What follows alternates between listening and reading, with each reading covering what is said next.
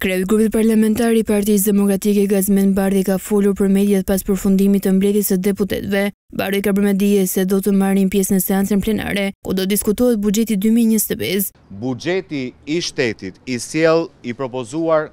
nga qeveria e Edi Ramës, si buxheti i fundit,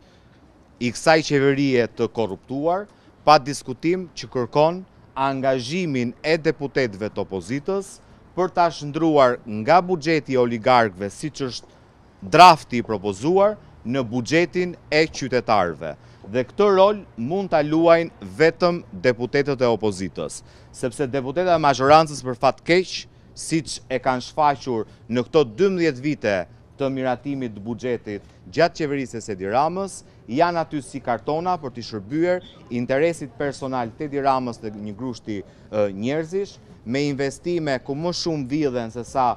investohen, pa patur në vëmendje shtresat në nevojë, pa patur në vëmendje pensionistët, pa patur në vëmendje fermerët shqiptarë, pa patur në vëmendje bizneset. I pyetur nga gazetarët nëse opozita do ta braktisë parlamentin, Bardhi tha. Në aksionin e mosbindjes civile do të vazhdojë, deputetët do t'i prijnë atij aksioni së bashku me qytetarët dhe popullin opozitar, por shtuar kësaj, deputetët do të përmbushin edhe përgjegjësitë e tyre si përfaqësues të qytetarëve për t'i shërbyer interesit të tyre, në Kuvendin e Shqipërisë. Prandaj dhe qëndrimi publik që në seancën ku ju e mbani mend u përjashtuan pjesa dërmuese e deputetëve është që ne në raport me Kuvendin do të vendosim rast pas rasti. Cilido që ka shpresuar që në Kuvend opozita do t'i lërë terren të lirë Edi Ramës që të kalojë buxhetin e oligarkëve dhe jo buxhetin e qytetarëve, e ka patur shumë gabim. Ne do të jemi aty, do të përballemi dhe do të mbrojmë interesin e qytetarëve, do të mbrojmë interesin e pensionistëve, do të mbrojmë interesin e biznesit, do mbrojmë interesin e fermerëve, Një nga emrat më të njohur në Shkodër, i konsideruar si plaku i fisit Lici, është marrë në pyetje dy ditë më parë nga policia e qytetit, i cili ka dhënë shpjegime lidhur me ngjarjen e rëndë të ndodhur në tridhjetë tetor, në zonën e Dobracit, ku mbeti vrarë Hamza Lici, Arlind Bushati dhe çifti i bashkëshortëve Flutura dhe Bashkim Basha. Por menjëherë pas përfundimit të ceremonisë mortore, oficerë të Policisë Kriminale në Shkodër kanë shkuar në banesën e tij për ta intervistuar. Mustafa Lici ka dhënë shpjegime mbi atë çfarë dinte për ngjarjen, duke treguar se djali i tij, Hamza Lici dhe Arlind Bushati, kanë qenë shokë të ngushtë dhe kjo miqësi mes tyre është trashëguar edhe për shkak të miqësisë që vetë Mustafa ka me babain e Arlindit, Xhemal Bushatin. Sipas dëshmisë të Licit, ditën e ngjarjes djali i tij dhe miku i familjes Arlind Bushati janë nisur në drejtim të Malit të Zi për të shkuar në Podgoricë. Lici ka treguar, sapo kanë hyrë në Dobraç, janë qëlluar nga një pritë e organizuar.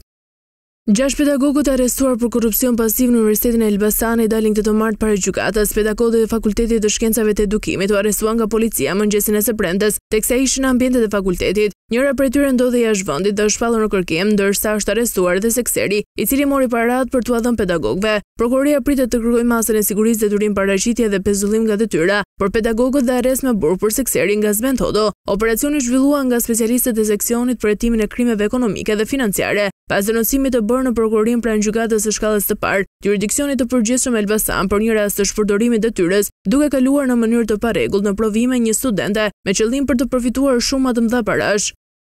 Një njëzet e një vjeçar ka rënë në prangat e policisë së Tiranës pasi është kapur me armë pa leje në afërsi të stadiumit Dinamo. Operacioni policor i koduar Raund u zhvillua nga seksioni për operacione speciale në drejtorinë vendore të policisë Tiranë, në vijim dhe të punës për lokalizimin, kapjen dhe vënien para përgjegjësisë penale të shtetasve të shpallur në kërkim, bazuar në informacionet e siguruar në rrugë operative, për vendndodhjen e një shtetasi të shpallur në kërkim për armbajtje pa leje. Ky shtetas ishte shpallur në kërkim pasi Gjykata e Apelit e Juridiksionit të Përgjithshëm i ka caktuar dhe masën e sigurisë arrest në burg për veprën penale mbajtja pa leje dhe prodhimi i armëve, armëve shpërthyese dhe i municionit, materialet ndërkaq i kaluan prokurorisë për hetime të mëtejshme.